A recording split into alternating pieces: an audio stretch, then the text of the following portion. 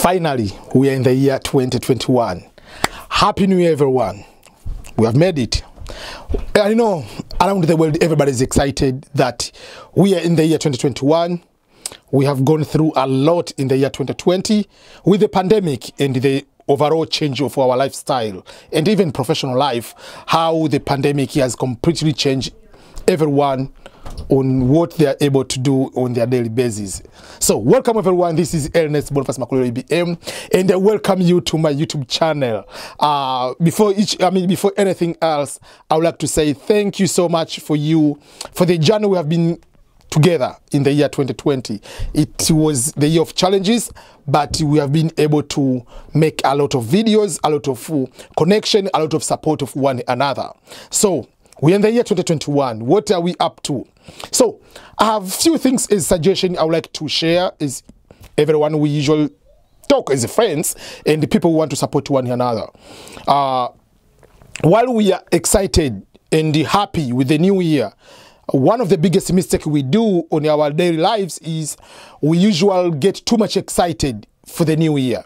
And we ending up having so much hopes so much expectation of the new year. We assume that everything is going to change because we are in the different year. I have bad news for you on that. The change of date is not automatically going to change what the bigger challenges you have been facing you as you or the world as the world in general there are so many things will continue to be more or less the same as in the year 2020 the year 2020 had with the pandemic so many plans of people completely shattered.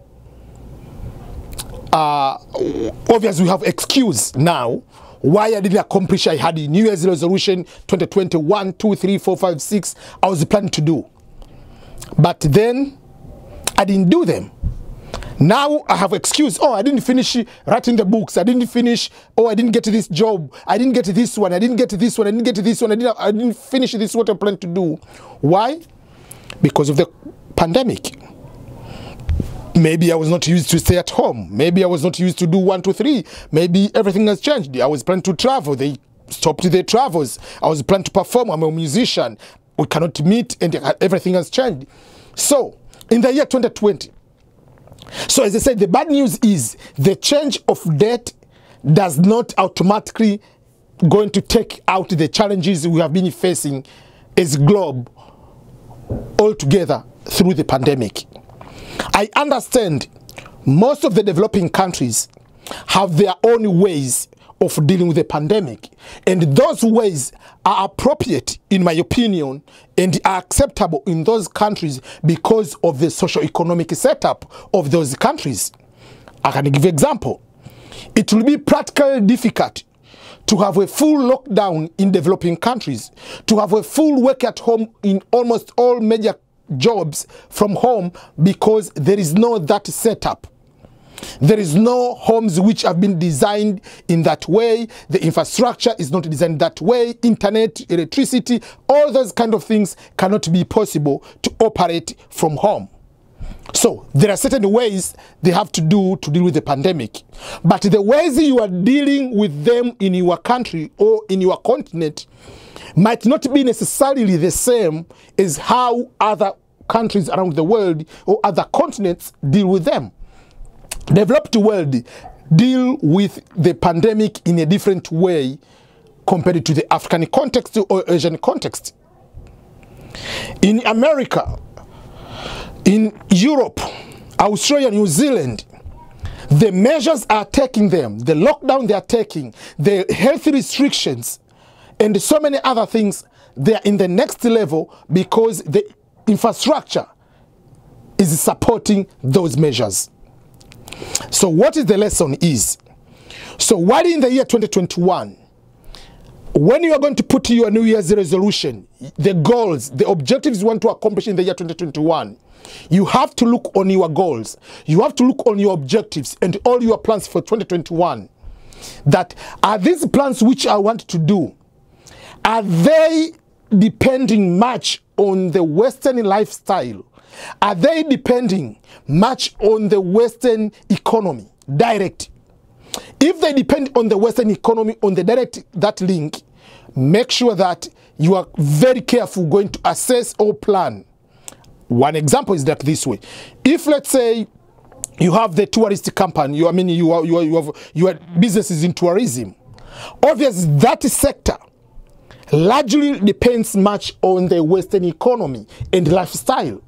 So if in Western sense or Western countries, the lockdown are still going to continue there, the restriction are still continue to be there, obviously it will be practically difficult for you to reach your goals. So if your goals and objectives whether in a personal way or in a professional way, in a business world, depend largely on the Western way of life and economy, you have to be very careful while you are going to plan those kind of things. I can give you an example. I started working from home on March 14th, 2020. The plan was to work for two months, then in July to go back to work. Then July was postponed to September. September was put to January, but the same after October, they say no, it is impossible, impossible to go back to January. Let's go back to June 2021. And that is a tentative too. So my point is, in the Western world, the measures are very, very different. The winter time, we are in the winter season in Europe and in America. But the winter, when it's in the middle of the winter, right now in January, going February, March, is the flu season. And remember, some of the uh, uh, ways or association of ways to uh, go away and, uh, I mean, expose someone to this virus are also related to the flu. So if that's the case, the level, that's why they say they, they call dark winter, that something worse will be coming.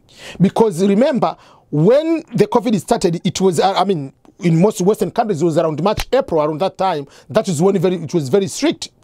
But it's already out of the flu season going to the summer. But now we are in the winter and going to the flu season of spring. So this will be very, very high. So the what is happening in the world for the year 2020 in the heavy time of the pandemic are most likely to go to be in the year 2021. So my point is reevaluate your goals assuming that everything will continue to be the same. The change of date to become new year doesn't stop today the pandemic to, to, to, to die and start the new life tomorrow. But if your business, your goals don't depend on the Western, it doesn't matter. If, for instance, you are planting your maybe cassava or something and you are depending on the local market that has nothing much influenced by the western uh, economy you have no problem. But if your goals for instance is to go for a visit in australia if your goal is to go you are planning to go uh, for a honeymoon in uh, in chicago obviously those kind of things might not happen so, and if you're a musician, you are you had a plan, a show scheduled maybe in the summer to perform at uh, maybe London, one of the big stadium or big club. Those things will not happen because these measures will continue to be very strong, especially in the Western world, for a very long time. So, we have to be very, very mindful while we are planning our goals. That is the bad news. The good news is that we have experienced this pandemic. Yes, we didn't reach our goals. We didn't finish what we planned to do because it was abruptly. Eh, the world didn't know what is this kind of virus. The world didn't know how to handle it. Everything was shut down. But now we can, we have experience of that. The professionals know what to do. They know the measures. We know how to keep ourselves a little bit away from the trouble. So all these kind of things. So we don't have the same excuse of not reaching our dreams, not reaching our goals in the year 20 uh, what happened in the year 20, uh, 2020.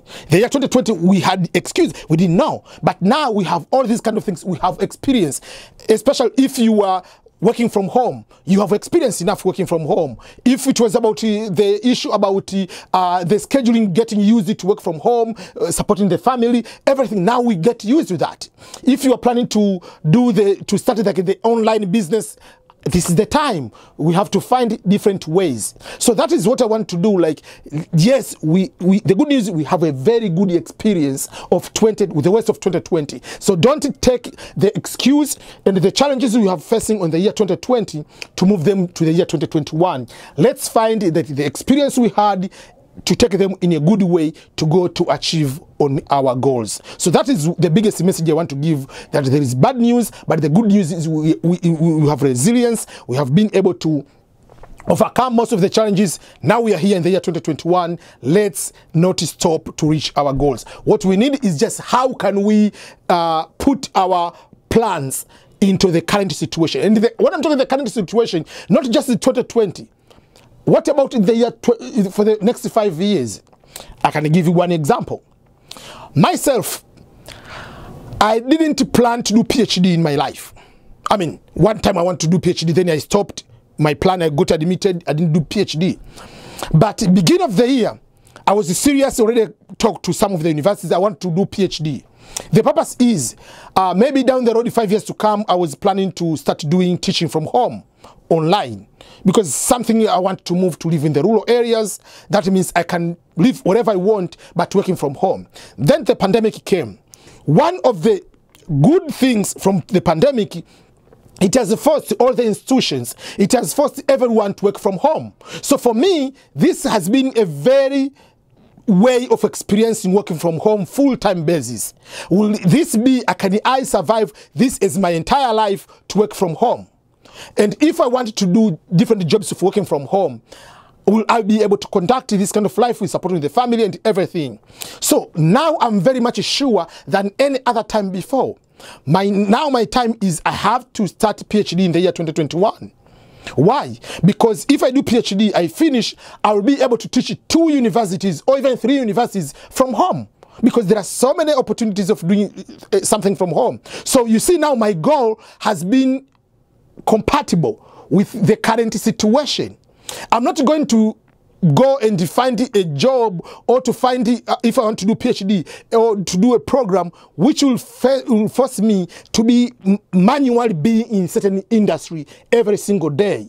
If I want to do like I want to do the job working in the restaurant, which I must physically be there, if they, they are going to be closed, it can it, it can affect me. But if I teach from on, online, it cannot affect me because people continue to be from home and they can, they can keep studying. And these things are not going to change in the next 10, 20 years. So this is a new game changer. So I have to go along, have to put my goals basing on the new lifestyle which we are going to change. So that is, for instance, on my case. I have so many things I'm planning to do from the year 2021 beyond. But that is one of the things I want to say, let me share with you to see how are you going to, in the new year's resolution, what are you going to do for the 2021 but and beyond but bearing in mind that the covid effects will be here for the next 10 20 years to come the what has happened now is changing the economy and the way of how we conduct our business and our personal lifestyle, our economy, everything has changed. So don't have any excuse. Find a way on how you can modify your things. If you're a student, right now you're at the university, Find a way to start a blog. Find a way to find online volunteering. Find a way on how to start a YouTube. Find a way, if you are a journalist major, start a way of writing featured articles, contribute. If you are dealing with, you are, you are, you are, you are a teacher, you are studying now, how can you start online tutoring, for instance? So all those opportunities like using Zoom, using YouTube, using blogs are free. How are you going to use those opportunities on your own advantage? Because in the end, you might not have opportunity to volunteer, you might not opportunity to experience in a normal way. Now there are so many companies have online opportunities. It doesn't matter where you are in part of the world. Find those opportunities and try to access those opportunities. So thank you so much, everyone, and I wish you all the best in the year 2021 and beyond. This is EBM. In case you haven't subscribed to my YouTube channel, please do so. Let's enjoy another ride for the year 2021 where we can continue keeping updating more videos, so much content of so many things we can be able to learn from one another. Goodbye, everyone, and all the best.